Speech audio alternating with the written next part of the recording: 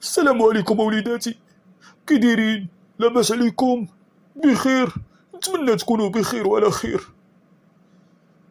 كيف عاملين مع هاد الفيروس هذا؟ ونتمنى يتشافى منه. ويرفع عنا الله البلاء.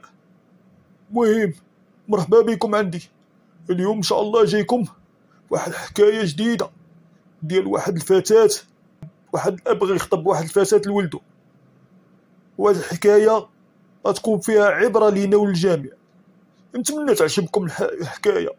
ما تنساوش تكملوا الفيديو حتى الآخر وما تنساوناش بالدعم ديالنا والاشتراك في القناة. والضغط على زر اللايك. يلا نتمنى تعجبكم الحكاية. جدي وجدي عاود لينا دوك الحكايات اللي كنتي تعاود لينا شحال هادي. كيعجبوني هاديك الحكايات ديالك يا جدي. واخا ولدي.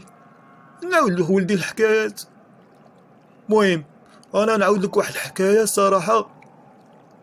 لين فيها عبرة لينا وللجميع. واسمعني يا ولدي مزيان. اسمع وتمعن مزيان في الحكاية. الحكاية اللي غنعاود لك ديال واحد الأب مشى يخطب واحد الفتاة لولده. واسمع مزيان.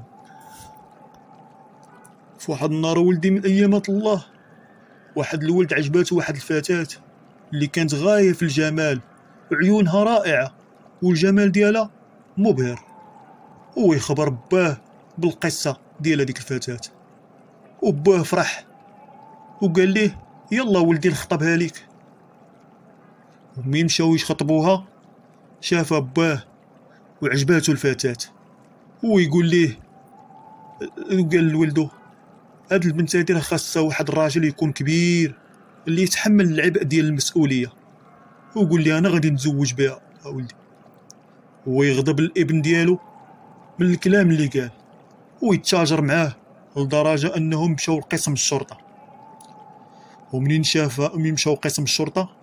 شاف رجل الشرطة حتى هو كذلك وقال لهم هاد البنت هادي خاصها شي واحد اللي في المثل المنصب ديالي أنا.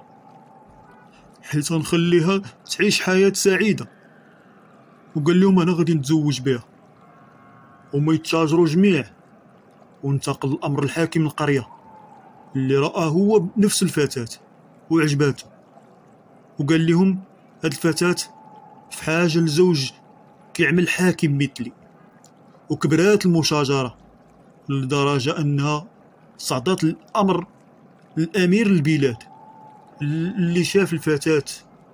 وقال لهم كذلك هو. خاصها تزوجني أنا لأنني أنا أمير البلاد وأملك كل شيء.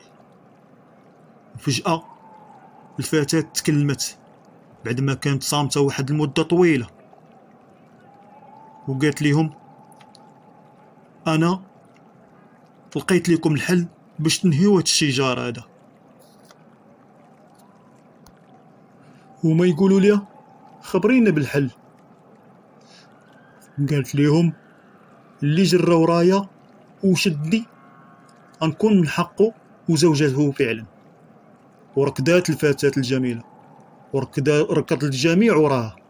وبداو كيجريو وراها يجريو وراها يجريو وراها. هما يطيحوا كاملين في واحد الحفرة. وهي ترجع عندهم الفتاة وقالت ليهم عرفتوا شكون أنا؟ قلت لهم أنا الدنيا الزائلة. تجرون ورائي وتقعون في القبر في النهاية دون أن تدركوا ماذا حدث لكم. سمعت يا ولدي؟ العبرة من هذه الحكاية لأن أن كل من يركض وراء الدنيا ومتاعها الزائل. يخص يتذكر أن المصير واحد وهو الموت والرقود في القبر ولدي. وهذه هي حكاية هذا اليوم ولدي. نتمنى تكون استفدتي من هذه الحكاية وخديتي العبرة منها ولدي. حكاية زوينة جدي هادي. صراحة استفدت منها بزاف. خديت منها العبرة أن كل واحد كيجري ورا الدنيا في الآخر ديالو المصير ديالو في الآخر هو الموت.